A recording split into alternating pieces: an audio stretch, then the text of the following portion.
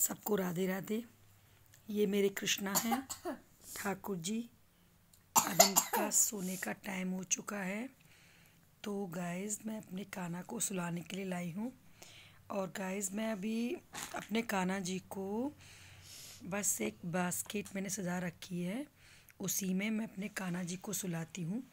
और मैंने अपने काना जी के लिए एक देखो उनके लिए सोने के लिए गद्दा बनाया है देखिए। ये मैंने और फ्रेंड्स इसमें मच्छरदानी भी है। और इसमें मैंने रुई मतलब कॉटन जो होती है वो भर दी है मैंने और दो हैंकी एक साथ जोड़कर बनाई है मैंने अपने काना के लिए। तो देखो गाइज़ मैं इस बास्केट में सुलाती हूँ अभी मेरे छोटे काना हैं तो अभी फ़िलहाल तो मैं इसमें सुलाती हूँ अपने काना को। अभी बैठे हैं, क्योंकि हम सब लोग भी अभी जगे हुए हैं तो ये हमारे बीच ही बैठेंगे थोड़ी देर। और फिर मैंने अपने हबी से बोला, हम बेड पर सोते हैं तो हमारे छोटू के लिए भी बेड होना चाहिए, हमारे लड्डू के लिए भी। तो देखो गाइज़ मैंने इनके लिए एक बेड बनवाया है। मेरे हस्बैंड ने बनाया है, देखो। मतलब मैं झूठ भी नहीं बोलूँगी कि न्यू लकड़ी है। मतलब जैसे हमारे घर काम चला था तो उसमें से बची हुई थी तो मैंने उनसे ही ये अपने हस्बैंड से बनवा लिया है। ये देखो गाइज़ ये देखो। इस तरीके से बनवाया ये मैंने। ये देखो। बिल्कुल सेम बेड वाला लुक है, देखिए। ये एक तरफ़ मतलब पैर है और एक तरफ़ शराना जिसे बोलती है, सर की तरफ़ ऐसे करके। देखो गाइस कैसा लगा मेरे लड्डू गोपाल जी का बैट अगर किसी को अच्छा लगे तो प्लीज़ कमेंट में मुझे लिख कर बोलें और मेरी वीडियो को लाइक करें शेयर करें सब्सक्राइब करें प्लीज़ और मेरे लड्डू गोपाल भी खुश होंगे, हैं लड्डू? मेरे लड्डू गोपाल भी बहुत खुश होंगे कि मेरा एक बेड बन गया है। अब मैं बास्केट में नहीं, अपने बेड पर सोया करूँगा। तो गाइस देखो, जब हम सब लोग मतलब अपने बच्चों का ध्यान रखते हैं तो सबसे पहले तो हमारे लिए ठाकुर जी ही हैं। मैं ज़्यादा पूजा तो नहीं करती, लेकिन हाँ अपने लड्डू गोपाल का ध्यान रखती हूँ। जितना मुझसे हो सकता है, मैं उतनी ही पूजा करती हूँ। और मैं अपने लड्डू गोपाल को डेली नहलाती हूँ, उनको भोग लगाती हूँ, उनको डेली सुलाती हूँ।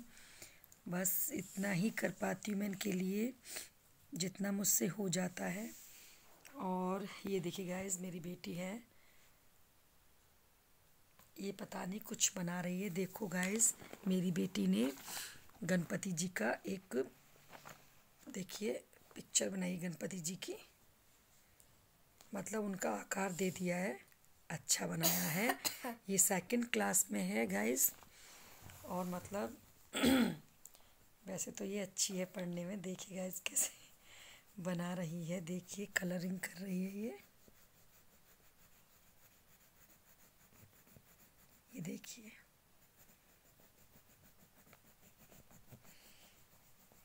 और गाइस अब काफ़ी टाइम हो चुका है। मेरे कन्नू बैठे हुए हैं। अभी अब देखिए मैंने गाइस अपने काना के लिए मैंने और ड्रेस बन, इनके काना के लिए मैंने सोचा न्यू ड्रेस बनाऊँगी। तो देखिए गाइस मैं अपने काना के लिए वो लेकर आई हूँ, ऊन लेकर आई हूँ गाइस आपको।